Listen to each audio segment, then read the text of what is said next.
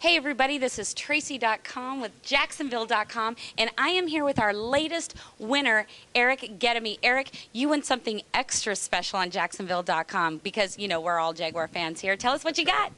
I got a signed copy of the Fred Taylor 10,000 book, and just a huge fan of Fred's and the Jaguars, and excited about it.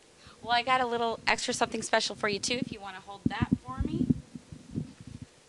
Fresh off the press, the uh, Times Union from this morning with your name right on the front. Great. Like that, right off my desk. I'm giving him my copy. Right. All right, and then, oh, you're going to be my assistant today. Okay, got it. Okay.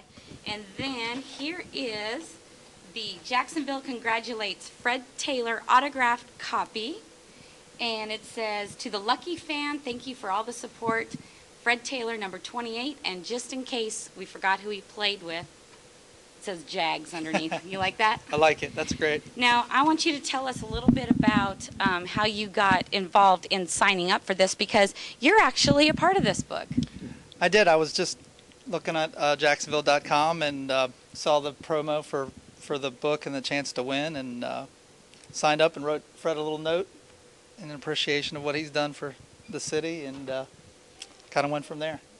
And so your note is actually in the book. Yeah, it is. It is. Okay, well, on behalf of the Florida Times Union, Jacksonville.com, and Fred Taylor himself, congratulations, Eric Gettemy. Thank you, Tracy.